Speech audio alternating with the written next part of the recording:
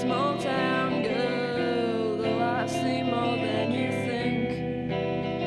This world, very little did I like. When I did, it was not mine.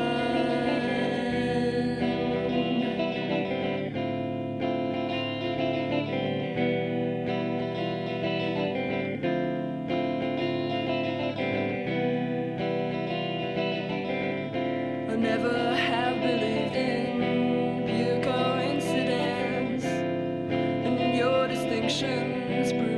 such a subtle difference, and subtlety